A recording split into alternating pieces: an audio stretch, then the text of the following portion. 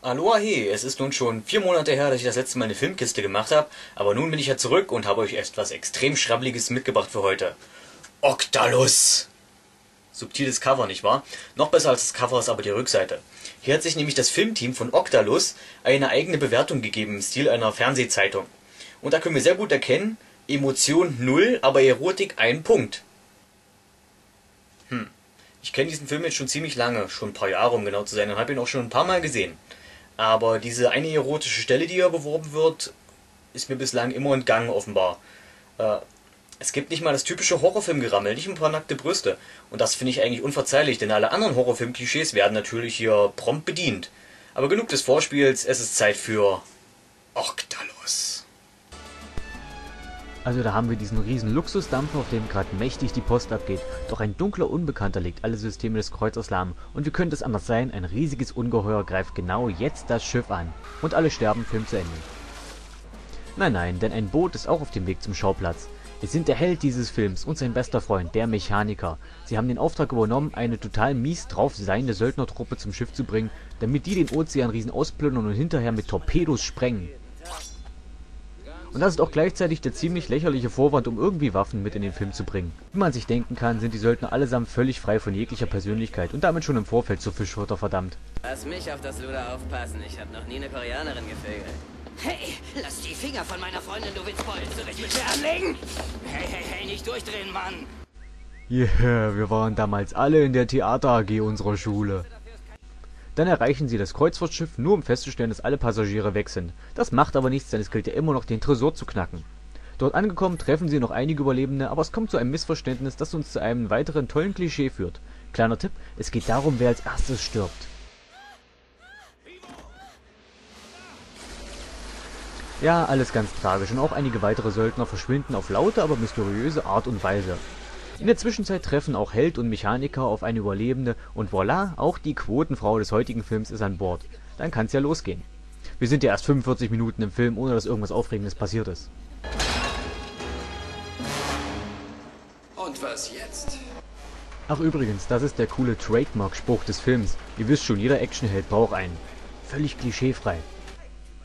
Als dann endlich alle zusammen sind, erklärt der schlaue Mann mit dem Arztkittel, der übrigens auch der stinkreiche Besitzer des Schiffes ist, dass sie es hier mit einer Art Tier zu tun haben, das zigtausend Tentakel hat, mit denen es seine Opfer frisst und auf dem Weg zum eigentlichen Körper schon mal lebendig verdaut. So viel zur Theorie, aber wie steht's mit der Praxis?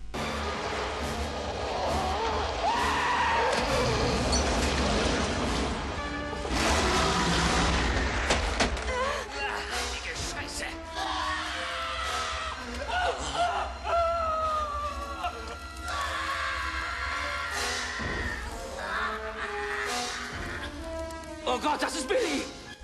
Sie haben Namen?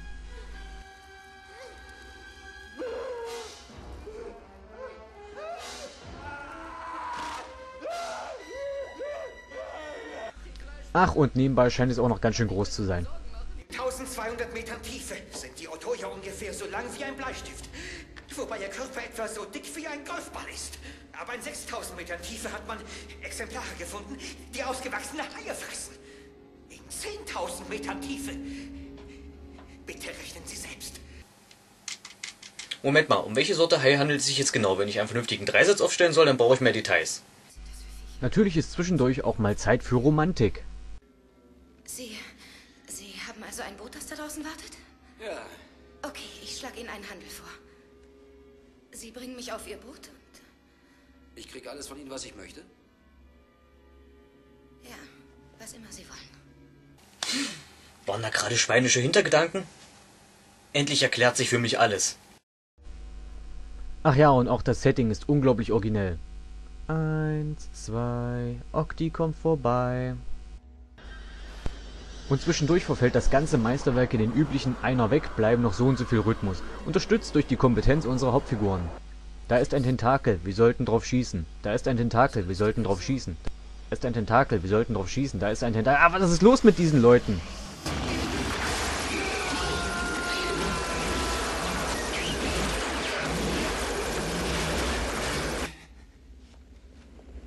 Willst du noch was? Du bist ein Nichts! Oh mein Gott, was könnte jetzt als nächstes passieren? Also ich rechne jetzt überhaupt nicht damit, dass in der nächsten Ecke des Raumes ein anderes Tentakel wartet.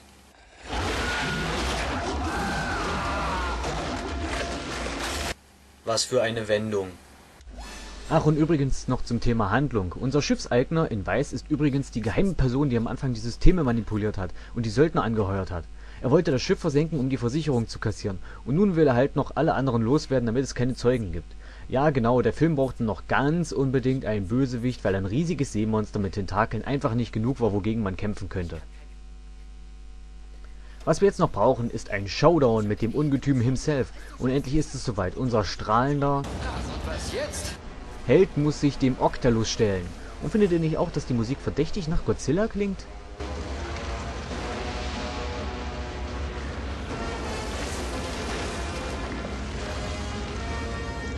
Moment mal, ja?